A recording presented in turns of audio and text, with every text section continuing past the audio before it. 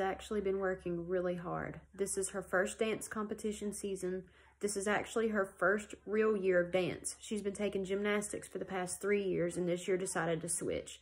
And she's definitely found her thing. She loves it. So competition is in a week and I'm really excited and I feel like I'm really ready for it. But I feel like I'm confident in myself and I don't know if I'll be able to win a platinum, but I believe in myself and I think that I can of jazz solos, please welcome to the stage routine number 108, Queen Bee.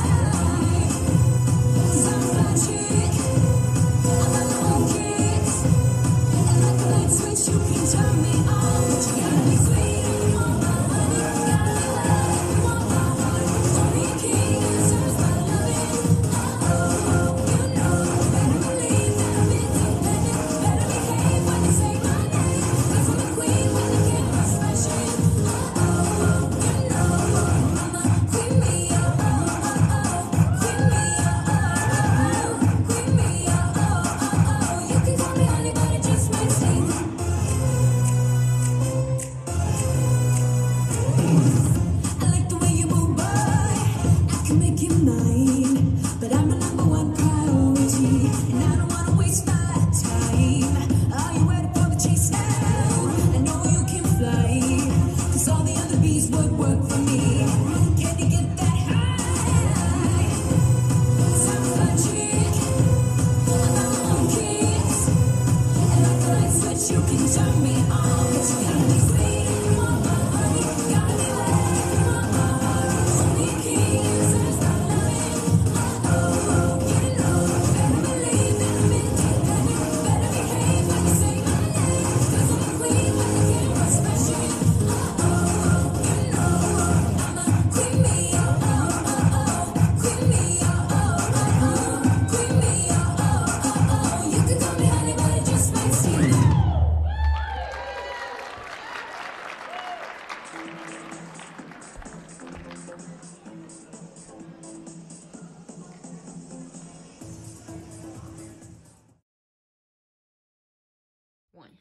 So I got back from the competition and I didn't get my platinum, but I did get score an ultimate gold.